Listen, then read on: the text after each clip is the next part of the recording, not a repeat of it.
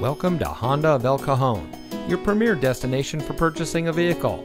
And here's a look at another one of our great vehicles from our inventory and comes equipped with air conditioning, passenger airbag, third row seats, adjustable steering wheel, power outlet, anti lock braking, driver front airbag, four wheel disc brakes, and has less than 50,000 miles on the odometer. Since 1971, family owned Honda of El Cajon has been proudly serving our friends and neighbors with the best customer service in the business. We are the oldest Honda dealer in San Diego County, so we know how important a low pressure, family oriented, and easygoing experience is for our customers. Come see us today at Honda of El Cajon.